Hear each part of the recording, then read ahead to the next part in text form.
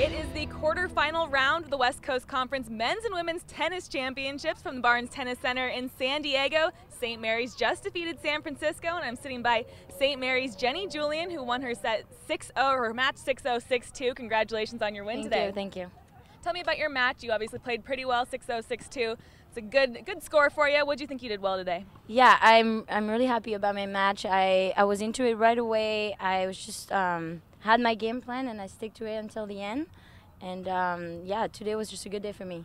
Now you were one of the first matches done for your team. I think you were number two, so you got to see your team play a little bit. They were done pretty quickly as well. Yeah. But what do you think of the way they were all playing out there? There was such a good energy today. Honestly, um, I, I loved it. Starting from doubles, everybody was uh, just into it, and I, I really like that our freshman Parminder got to clinch the point today. It's, it's really good for her. I'm really happy.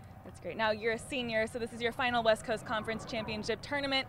Such a great year for you already, WCC Player of the Year. But how much would this mean for you guys to clinch this tournament? You know, like I haven't won that championship since I've got here um, three years ago, and um, it would mean a lot to me. It would be the best reward of uh, this the hard work we've been putting uh, th this past four years, and we've been so close, you know. And uh, I actually really like playing those. Um, qualifying rounds this year and uh, it, it, just feels like we into the tournaments and we we ready for for the semis tomorrow.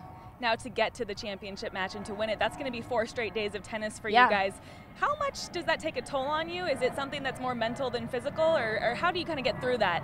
Uh, i think it's it's you know it's it's both. It's mental it's physical but um, when you have this team spirit like we do, like we, it, it, you can overcome everything. I think, and uh, just uh, the will to win this championship is so strong with this, within this team that I feel like we can we can we can do anything. We really can.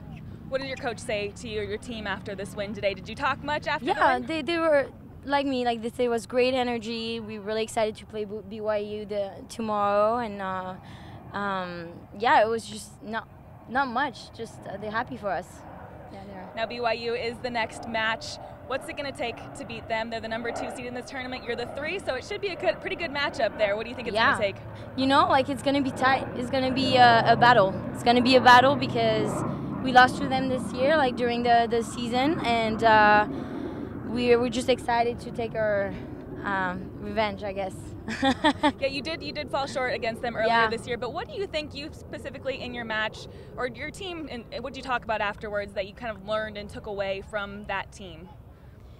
Um, we just know that this championship means that everybody in the lineups needs to show up and do their job and give 100% of what they got. And I think we we've learned that throughout the season, playing all those good teams, and we've realized that if if somebody doesn't do it in the team, then it affects everybody else.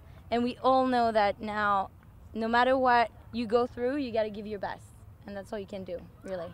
All right, well, Jenny, congratulations on a great day. Great season so far. Yeah. Hopefully, it keeps continuing for you. So. And thanks for watching right here on the W.TV. We'll be here from the Barnes Tennis Center all week long covering this West Coast Conference Men's and Women's Tennis Championships.